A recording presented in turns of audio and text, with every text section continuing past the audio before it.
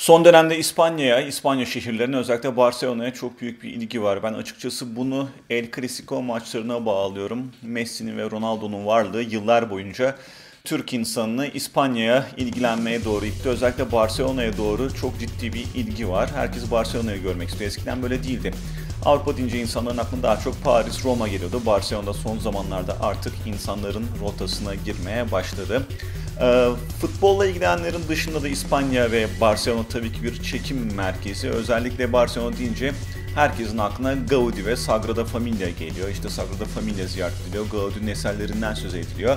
Ama burada benim anlamadığım başka bir konu var. Gaudi 19. yüzyılda yaşadı.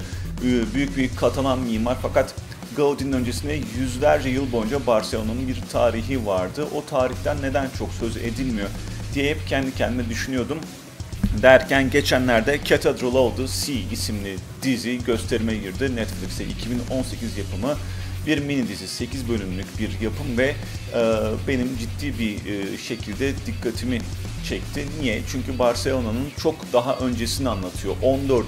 yüzyılda geçen bir hikaye üzerine odaklanmış Cathedral of the Sea. Tabii ki orijinal adı Le Catedral del Mar olarak geçiyor. İspanyol yapımı bir e, film bu.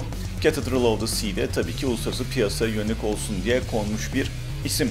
E, Ildefonso Falcon isimli bir yazar e, 10 yıl önce böyle bir kitap yazmış ve o kitaptan uyarlanmış. Senaryoda da bu yazarın etkileri var. IMDb'ye baktığımız zaman en azından o bildikleri görebiliyoruz. 14. yüzyılda geçen ilginç bir film. E, aslında tam bir arabesk yapım söz konusu. E, genç bir çiftle tanışıyoruz. Birbirlerini seviyorlar, bir köyde aşık oluyorlar. Daha evlendikleri günün gecesinde kadın e, bölgenin valisinin tecavüzüne uğruyor. Ondan sonra 9 ay sonra çocukları oluyor. Çocuğun kimden olduğu belli değil. Daha sonra kadını kaçırıyorlar. Adam çocuğu alıyor, kadından kaçırıyor. Daha doğrusu bu kadını kaçıranlardan kaçırıyor. O köyden uzaklaşıp Barcelona'ya gidiyorlar. Barcelona'da o çocuğu büyütüyor. Daha sonra çocuğun gözleri önünde adam ölüyor. Ee, daha sonra başka çocuklar ölüyor, başka insanlar ölüyor. Herkes ölüyor. İnsanlar e, son derece yanlış ve kötü şeyler yaşıyorlar.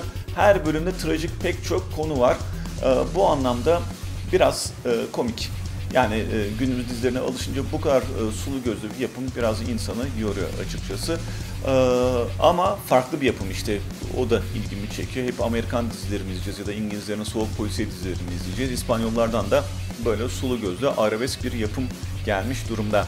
E, dikkatimi çeken burada benim tasarımlar. Öncelikle tabii ki Barcelona ve İspanya kültürü de insan ilgisini çekiyor ama tasarımlar önemli. 14. 14. yüzyıl İspanya'sı, Barcelona'sı ve o dönemki yaşama koşulları, o dönemki anlayış burada bir belgesel titizliğinde anlatılmış sanki. Tarihçi değilim. Doğru mu yapmışlar, yanlış mı yapmışlar bilmiyorum ama çok ciddi bir uğraş olduğu ortada.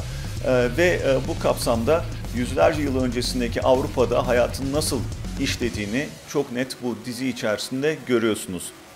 Dediğimiz gibi o trajik olaylar zinciri var. Görsellik çok iyi. Burada önemli olan bir konu aslında Barcelona tarihi açısından Santa Maria de la Mar diye bir manastır varmış. Hep Sagrada Familia'ya yoğunlaştığımız için ben bu manastırı görmedim. Bir dahaki gittiğimde zannedersem burayı görmem gerekiyor. Bu manastırın yapılışıyla beraber Arnaud isimli baş karakterimizin de hikayesini izliyoruz. O manastırı da merak ediyorsunuz bir yandan. E, bir yandan da bu karakterin başına gelenleri merak ediyorsunuz ve ilgiyle tamamlıyorsunuz.